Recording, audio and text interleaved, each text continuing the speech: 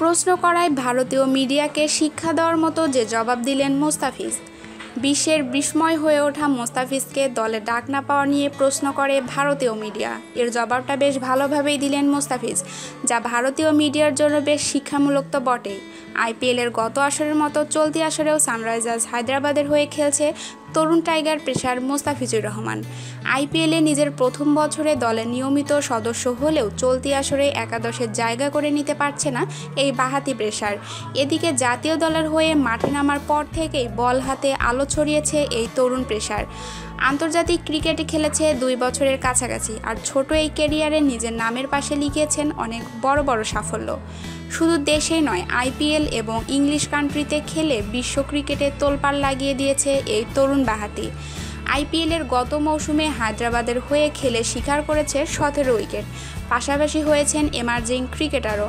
এত সব সাফল্য অর্জন করার পরও থেমে থাকতে চান না ফিজ।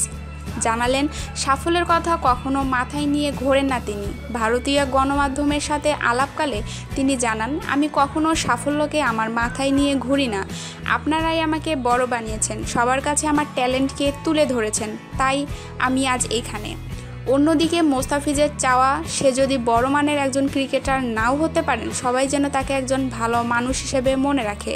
তিনি বলেন, আমি যদি একজন বড় মানের খেলোয়াড় না হতে পারি, তাহলে আমি চাই আমাকে সবাই একজন ভালো মানুষ হিসেবে চিনুক এবং আমাকে মনে রাখুক।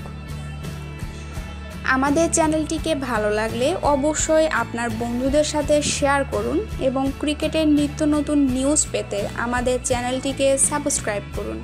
ধন্যবাদ সবাইকে।